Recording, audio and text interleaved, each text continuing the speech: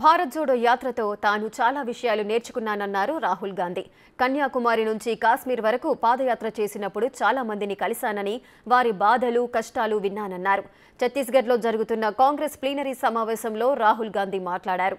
మోడీ ప్రభుత్వం పేదలను పట్టించుకోవడం లేదన్నారు. కేవలం బడాబాబుల కోసమే పనిచేస్తుందని దేశ సంపదను దోచిపెడుతున్నారని మండిపడ్డారు. భారత్ జోడో యాత్రలో జనం ప్రేమ ప్రేమాభిమానాలు మర్చిపోలేనన్నారు. దేశాన్ని అర్థం చేసుకునేందుకు జోడో యాత్ర ఉపయోగపడిందన్నారు రాహుల్ గాంధీ कश्मीर तक मैं ये इस छोटे से घर को ले जा रहा हूं और यहां मुझे लग रहा है कि मैं वापस अपने घर जा रहा हूं कश्मीर में हम घुसते हैं वैली से पहले बर्फ है धूप है जैसे आज और हजारों लोग हमारे साथ चल रहे हैं एक लड़का आता है मेरे पास मेरे साथ चलता है और मुझसे कहता है, राहुल जी, मैं आपसे एक सवाल पूछना चाहता हूँ। मैंने कहा, क्या? कहता है, राहुल जी, जब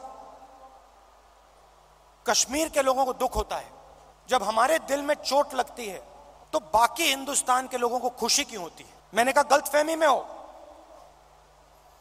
ऐसी कोई बात नहीं है। मैं कन्याकुमारी से यहाँ तक आया हूँ। मैं दावा दे के कह सकता हूँ कि करोड़ों लोगों के दिल में यह भावना नहीं है। करोड़ों लोग हर हिंदुस्तानी के दर्द के साथ, हर हिंदुस्तानी के साथ खड़े हैं। चुने हुए लोग हैं। मैंने कहा, चुने हुए लोग हैं जो खुश होते हैं।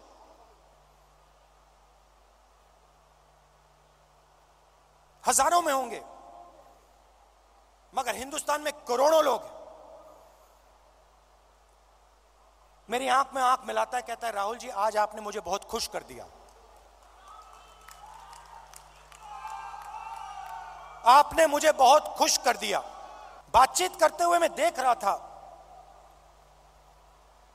चारों ओर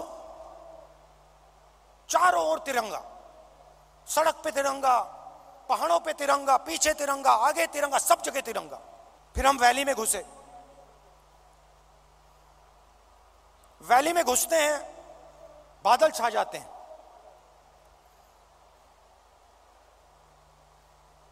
धूप गायब हो जाती है। और जैसे ही हम घुसते हैं, पुलिस वालों ने हमें कहा था कि 2000 लोग आएँगे। मेरे सिक्योरिटी वाले वालों ने सोचा था 2000 लोग आएँगे। जैसे ही हम घुसते हैं, वहाँ पे चालीस हज़ार लोग खड़े जैसे ही पुलिस वालों ने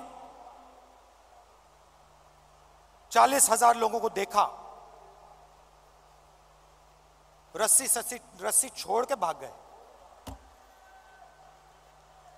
हम देख रहे हैं, जिसको रोप पार्टी कहते हैं, वो सब गायब हो गई।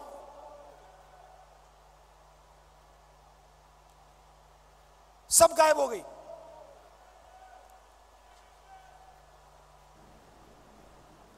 मैं देख रहा था।